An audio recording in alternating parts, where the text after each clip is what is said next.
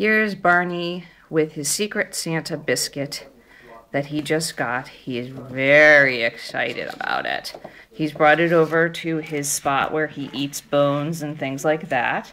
It's where we leave our shoes. It's at the door to outside.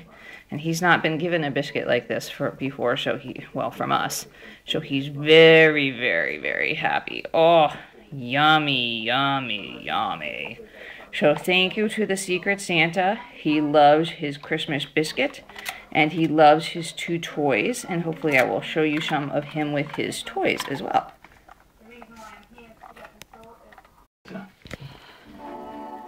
And now here's Barney with the other chew toy that uh, he received. And it's hard to see him because he blends with the brown.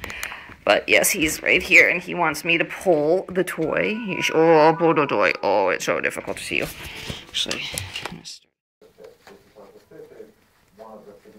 here is Barney enjoying his other Secret Santa pressie, as you can see. He's not somebody, a dog who rips the stuffing out of toys. He actually just kind of more uh, traditionally enjoys kind of gnawing on them. The only thing that he's that we've seen that he's uh, ripped the stuffing out of was the Homer.